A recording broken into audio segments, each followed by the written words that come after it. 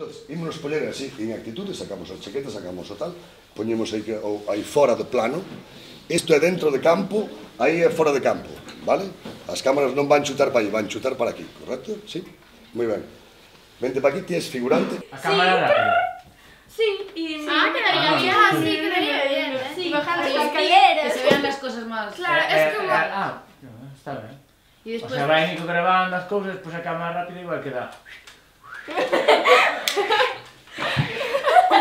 Vale, entón a cousa é, vamos camiñando, vamos ao sitio onde vamos a gravar, mentres pensamos a película. Cando cheguemos ali, vamos a soltar as ideas que queiramos. Vale, e logo empezamos a gravar. Sí. O temos claro todo. Sí. Sí.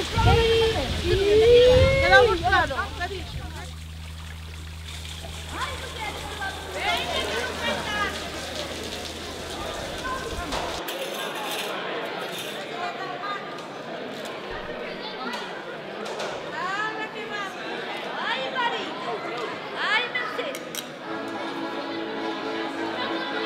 Hasta luego.